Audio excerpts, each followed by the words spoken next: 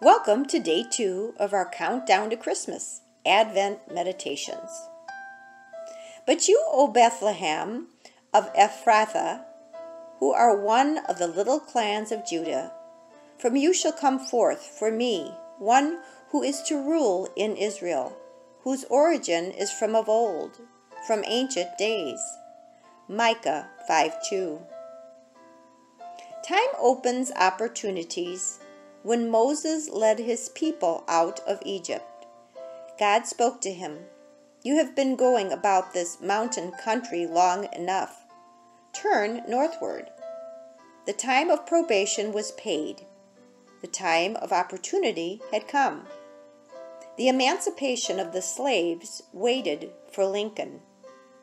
The open door of Ephesus for Paul Though time is too precious to waste, it must never be thought that what was lost is irretrievable.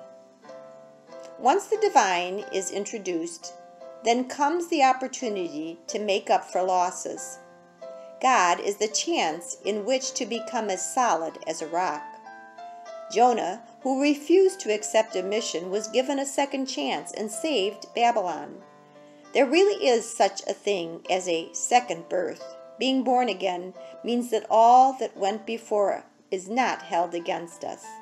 Bishop Fulton Sheen. God of love, your Son Jesus, is your greatest gift to us. He is a sign of your love. Help us walk in that love during the weeks of Advent. As we wait and prepare for his coming, we pray in the name of Jesus, our Savior.